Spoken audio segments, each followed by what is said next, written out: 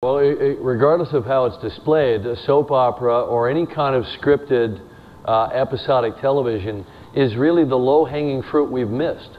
We've gone around the lowest hanging fruit to stuff that's much harder to shoot.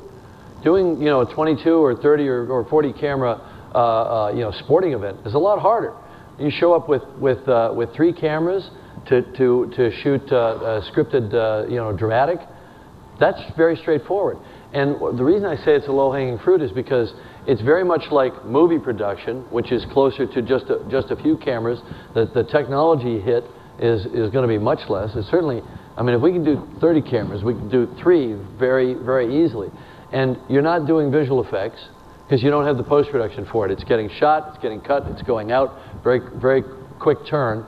And that kind of, uh, of uh, you know, the market for episodic, whether it's, whether it's soap operas or whether it's scripted one hours or whatever it is, I think that, that should be the, the, the place where we should be looking for the most rapid growth. Again, because of that intimacy factor that the 3D gives you.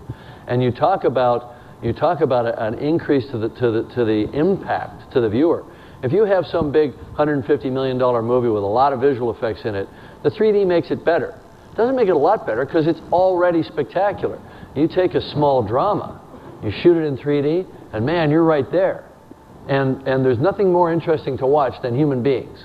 Human beings like to watch human beings. It's sort of the basis of all, of all scripted drama that, that, that's being done out there. And in 3D, you feel like you're right there. You feel like you're involved.